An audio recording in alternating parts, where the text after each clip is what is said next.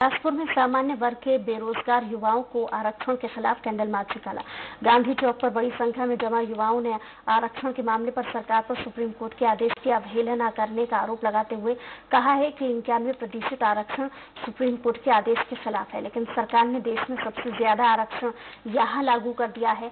इनका कहना है कि सरकार को सामान्य वर्ग का भी ध्यान रखना चाहिए। ओबीसी को आरक्षण दिया नहीं जा रहा है, बल्कि जनरल कैटेगरी वालों से उनका आरक्षण छीना जा रहा है। हम हम अगर आप प्रतिभाओं का हनन करते हैं तो ये गलत है।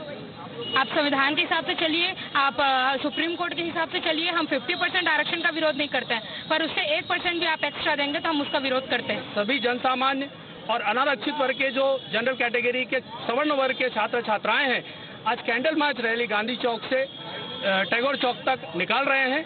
ये उसका विरोध है और ऐसा विरोध अब प्रदेश और राष्ट्रीय स्तर पर भी किया जाएगा। ये हमारी पूरी कोशिश है, क्योंकि आरक्षण अपने आप में देश के लिए अभिशाप है।